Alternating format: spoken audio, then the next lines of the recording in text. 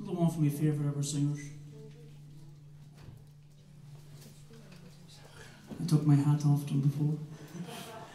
The last album, I kind of a, a tribute song to him called You're Not Alone. Do a Roy Orbison song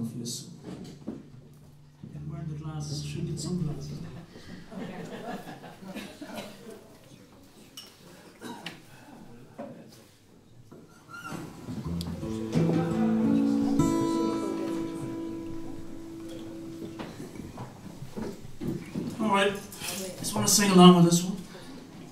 So, no, he's have